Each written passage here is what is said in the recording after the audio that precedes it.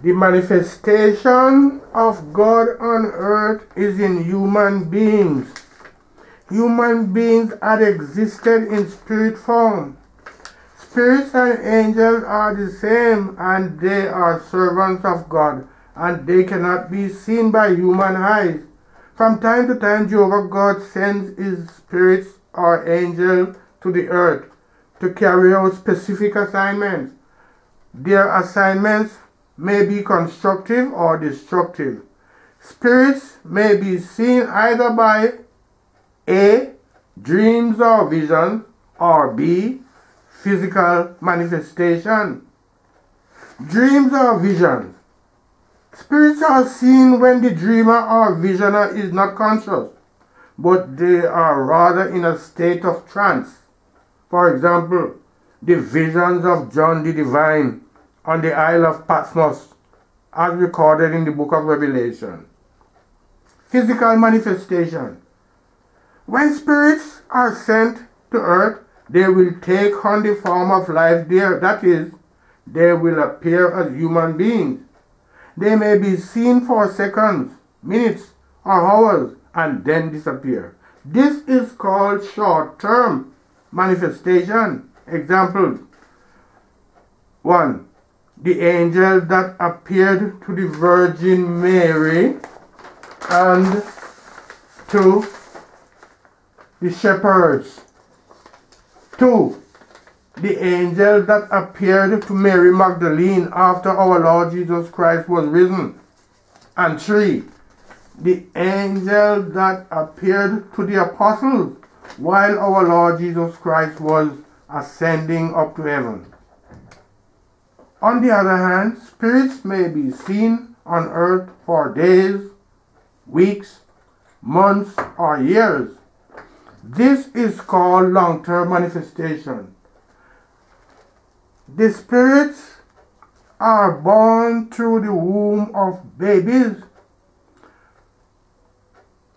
This, no, the spirits are born through the womb as babies. They grow up into adults.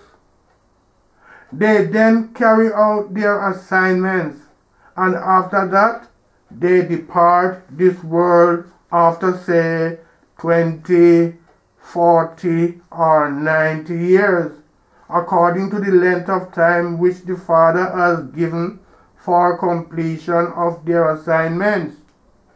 All human beings on earth have specific assignments during their lifetime.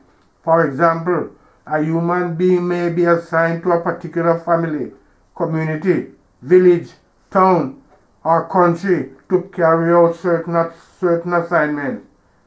He grew up from infancy, goes to school, college or university, and later become a doctor, farmer, lawyer, professor or prime minister, president, pope our king, etc. After the end of his assignment, he is transferred in spirit form by God to perform other assignments at a different place. Heaven is God's throne and earth is footstool. When in heaven, God will be in the form of an angel. On earth, he will appear as a human being. Jehovah God has visited his vineyard, the world, from time to time and he reveals himself to whosoever it pleases him. Since the creation of the world, God has sent certain special human beings to the earth to carry out specific assignments. Where one has finished, another one takes over. It is like building a house. The person who does the roof is not the one who does the flooring and the walls. The plumbing is done by another person. So does the electrical wiring, the carpentry, the painting, etc. Adam, Enoch, Noah, Melchizedek, Moses, Elijah, John the Baptist, our Lord Jesus Christ, and the Holy Spirit of truth, leader, Olumba, Olumba, Obu are all godly names. They were all sent to earth to carry out specific assignments, and each one's assignment differs from the other. Adam's assignment. Adam came into the world by being molded from the clay, and God breathed into his nostrils the breath of life. The significance of this breath is that God dwelt inside Adam. Adam is the house of God, and he came into existence for that purpose. If you go to work on your farm, the first thing that you would do is to erect a hut for you to shelter. You are told that God does not dwell in houses built with hands.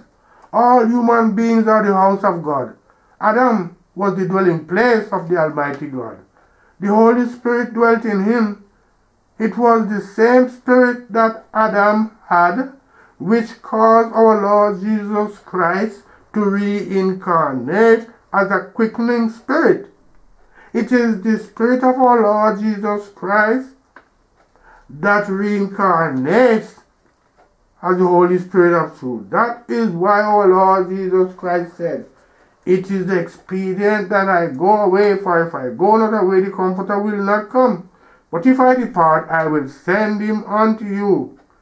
One Spirit reincarnates to many persons. Enoch's assignment. Enoch came into the world to inspect if all the creations of God were in their respective order as they were created. He was an inspector, and when he inspected the positions of things, he discovered that they were not in the order as God had created them, and he submitted his findings to God.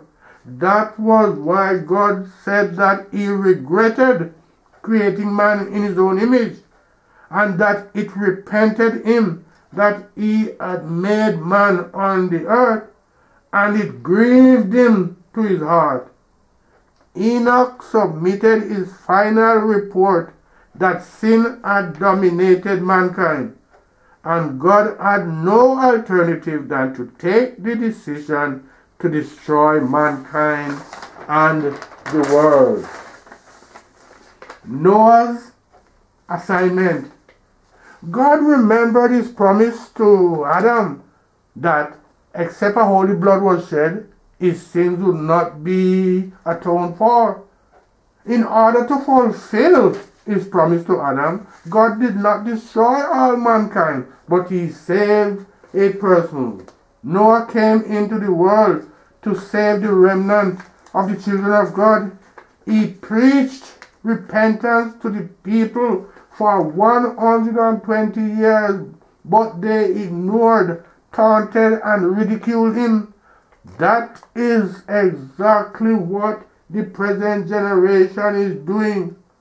After taking his family along with one pair, male and female, of each kind of animate things into the ark. The rest were destroyed by the great flood.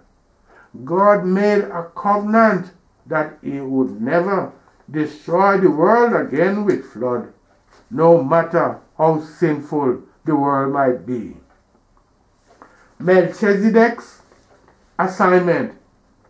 The main assignment of Melchizedek was to bless the people who were saved after the flood and to set all things in order because despite the flood, mankind would continue to sin. He entered into a covenant with God never to destroy the world again with flood. He had a duty to teach and demonstrate righteousness, peace, love, forgiveness, patience, and other godly virtues to the people. Melchizedek was God Almighty that became flesh and dwelt amongst the people. Only Abram recognized him. He blessed Abram, and Abram paid him tithes, which was the equivalent of one tenth of his booty. in acknowledgement of the divine priesthood of Melchizedek. People did not recognize him as God on earth, just like what the people did during the time of our Lord Jesus Christ, and like what this generation is now doing to the Holy Spirit of truth personified in our midst. The assignments of Moses. Jehovah God and his Christ told Adam that his seed would sojourn in a strange land and will remain in bondage for 400 years. And after that, God would judge the nation that, that enslaved them. Acts chapter 7, verses 6 to 7. Moses came to deliver the children of Israel out of bondage in Egypt in fulfillment of God's promise. He led them out of Egypt and disappeared on his way to the promised land. Without the coming of Moses, the Israelites would not have been delivered. Pharaoh was the greatest king on earth with his army and weapons of war. Who was Moses to appear before him and demanded the release of the Israelites? Moses, Moses did not possess guns, swords, machetes, and other weapons of war, nor did he had an army. Moses was in fact God manifested in another form to reveal his power and glory. Romans chapter 9 verse 17. He appeared before Pharaoh with only a crooked staff and perform all the great wonders in Egypt. Many people do not believe that it is God who kills and keep alive. You have heard what happened to Pharaoh and his army. Moses delivered the Israelites from Egypt, gave them commandments, and set them on their course to Canaan. The mission of Elijah. Elijah came to punish all those who did not abide by the commandments and ordinances of God, particularly idolaters. Elijah was a destroyer, and he came specifically to destroy the worshippers of Baal. It is the same God performing his assignments through different persons. When you continue to say that God is love and cannot kill, and that it is only Satan that kills, who sent down fire from heaven to destroy 400,000 worshippers of Baal. St. Luke chapter 9 verses 52 to 56.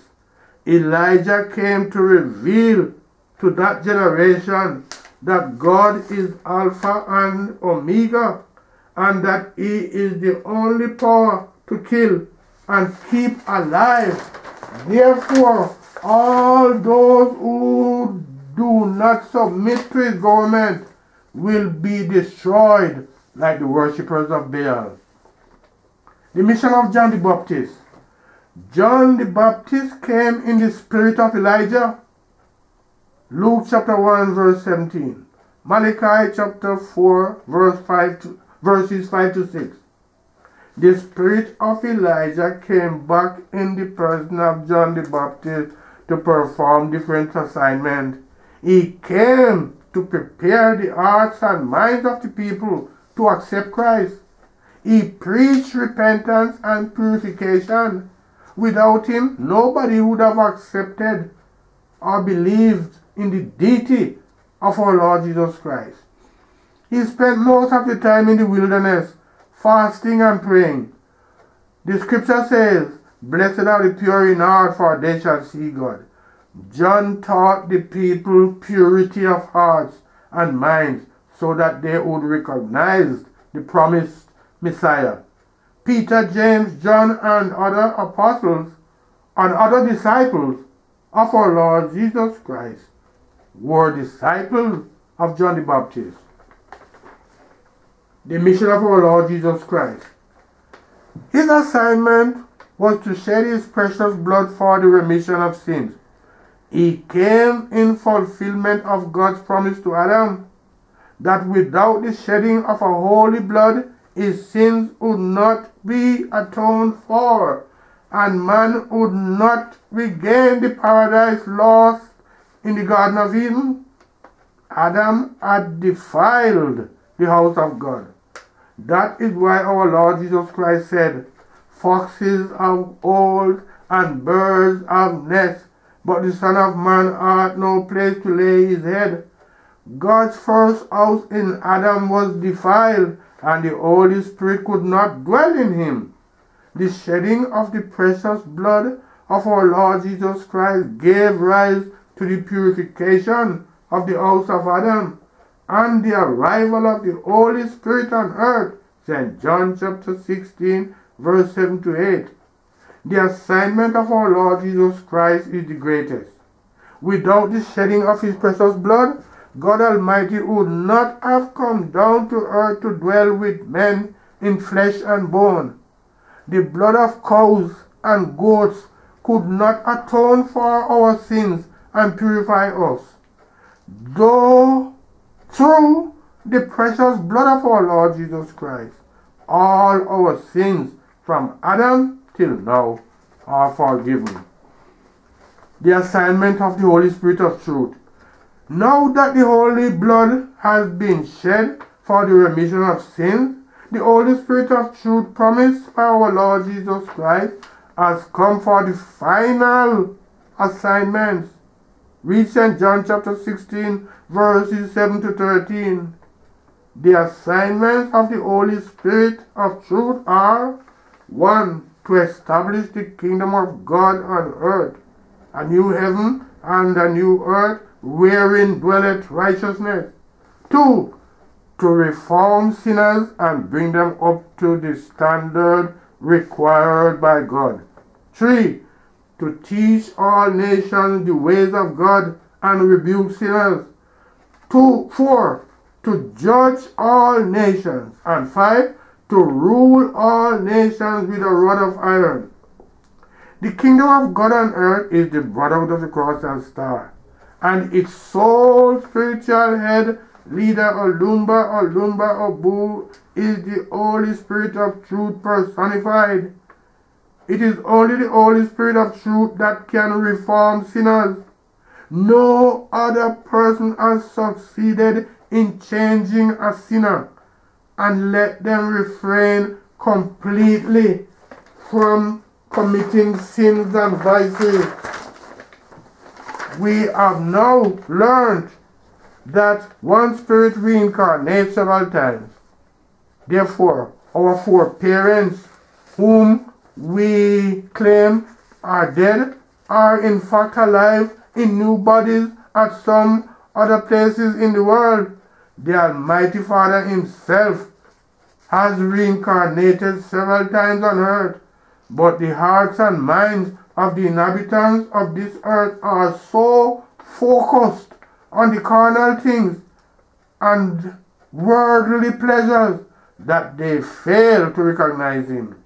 It is said that God is in the world, but the world do not know him, but he knows everyone. The Almighty God and his heavenly hosts are now on earth.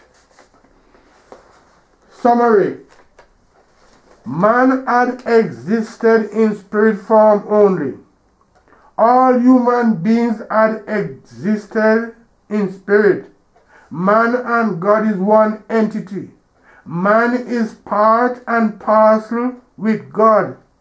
The real man is soul. Soul is a spiritual spark of God or source. Soul, spirit, and angel are the same. All human beings have the Spirit embodied in them. The Spirit, which is God, is indestructible. There is no death because God cannot die. The appropriate term for death is transfer. The spirit is extracted from the body and is sent by God to another place to carry out other assignments. One spirit can reincarnate several times. One spirit, many persons. The real man is soul. Man's soul, spirit, and angels are interrelated. They all refer to one thing that is, self in many colors or forms, evolving, evolved, and highly evolved. Soul is bodiless, extremely brilliant, and highly potent, being a spiritual spark of God, the source of all energy and life. Man is the apex of creation. When the soul or spirit becomes flesh, it is clothed in five bodies. One, etheric body or mind. Two, mental body. Three, causal body. Four, astral body. And five, physical body. The soul takes on all these bodies in that order. When you look at a human being, he has all these bodies, but you can only see the physical body. Brethren, a stroke of the cane is sufficient for the wise. Let all those who have ears to hear hear. May God bless his holy words. Amen. End of quote. Peace in the name of our Lord Jesus Christ. Amen. Thank you, Father.